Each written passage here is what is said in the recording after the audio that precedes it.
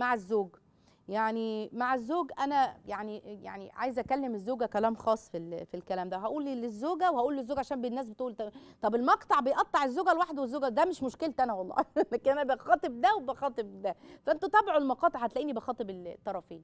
للزوجة على الأقل في العيد يعني ما شاء الله أطيب الطيب الماء. مستحمية اللهم بارك ونظيفة ويعني مسرحة شعرك يعني بتعملي فورم أي حاجة يا بنتي بلاش الكحكة وبلاش القمطة يعني حاولي اعملي أي منظر يعني.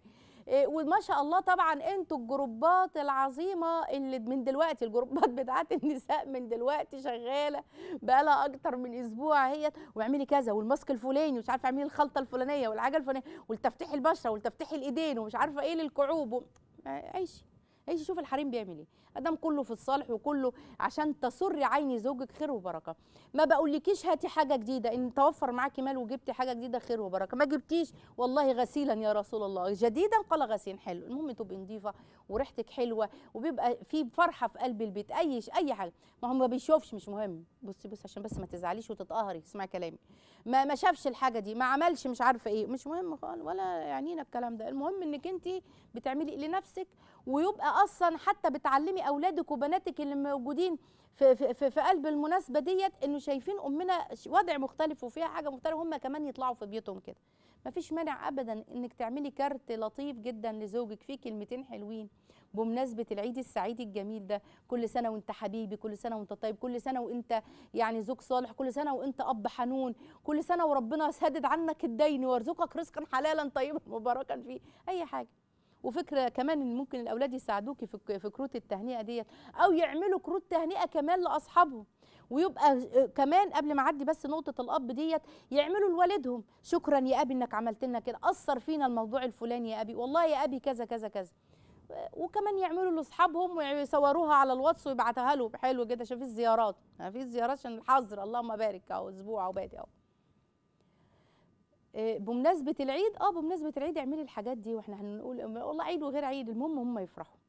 إيه، ممكن يبعتوها زي ما قلت لكم رسالة صوتية أو يصوروها مثلا بتبقى سكرينة على الواتس ويبعتها لهم ده شيء طيب جدا جدا.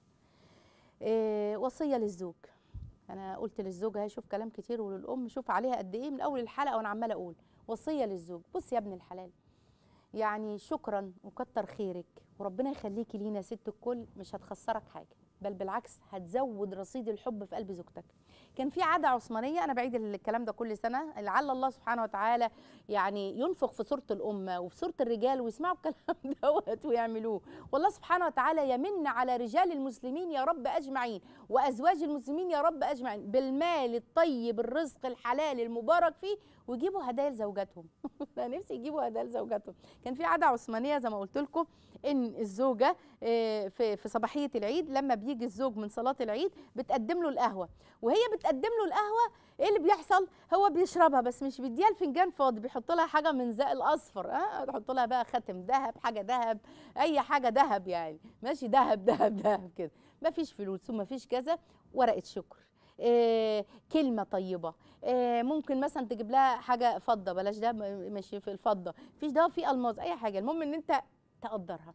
ما بنقولش على فكرة عند الست ما بيفرقش ابدا القيمة العالية ولا قيمة الحاجة بالفلوس ابدا. وهاتوا أي ست تقول الكلام اللي أنا بقوله لكم ده صدقوني لو ست سوية يعني وشخصية سوية. المرأة تحب التقدير ولو بكده. طبعا الورد دلوقتي حلو وجميل وزي الفل وكل حاجة ولكن الكلمة تحس إن هي مقدرة عند زوجها إن زوجها فعلا مقدر كانت تعبت طول الشهر. وأنتوا كنتوا بتبقوا مش عايزين نقلل من مجهود حد لا أنت كنت بتعمل وهي كنت بتعمل هي تعبت. والله سبحانه وتعالى يعني بيقول يعني الواحد على الأقل يشكر الناس. لأن من لم يشكر الناس لا يشكر الله سبحانه وتعالى. كتر خيرك شكرا يا ست الكل. الله يبارك لك. والله إحنا مش عارفين البيت من غيرك كان هيبقى عامل إزاي صراحة. في رجالة بيقولوا كده حقيقي يعني. وشكر. وطبعا تبقى يعني اب طب بالنسبة للأب اللي مش موجود مع أولاده ده لو أنت في البيت عامل جو مع أولادك وديك بتشارك في الحاجات اللي إحنا قلنا عليها. طب أب مش موجود مع أولاده يا ابني افتح كاميرا وكلم عيالك. وهات كل عيل كده واسمع منه واتكلم معاه. ما تخليش فيه توجيهات. ممنوع منعا باتا تيجي تكلمهم وانت من على بعد وفي مناسبة سعيدة وتديهم أوامر وتوجيهات وافعل ولا تفعل. غلط. لا ما هم لازم انصح. بس مش دلوقتي. فرحهم. خلي العيد بالنسبة لهم فرحة. أبونا بيتصل يفرحنا. مش صوته بيعلى عندنا ومش عارفة بيعمل إيه وبيسوي إيه. إحنا مش عايزين الكلام ده. عايد عليهم فرحهم خلي مكالمة خاصة بينك وما بين زوجتك بتشكرها فيه وبتفعلا بتقول لها على حاجات تؤجر عليها يعني تؤجر عليها.